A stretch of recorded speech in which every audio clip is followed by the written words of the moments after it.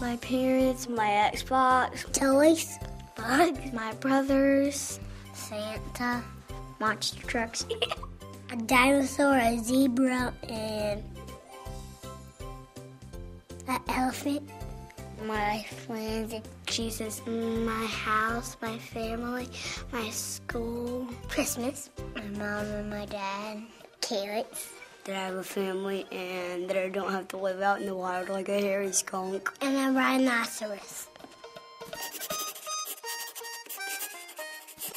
Usually our friends come over and we have a Thanksgiving party at my grandmother's. We eat turkey and have mashed potatoes. Five snacks, and let me drink Kool Aid, vegetables, lemonade, green apple juice, Steak. and what else? They sit around the table and eat and talk. They keep talking, they talk. They don't stop. Some of the grown ups play football with us. We play with Uncle Jimmy And play, and play, and play. and get mohawks.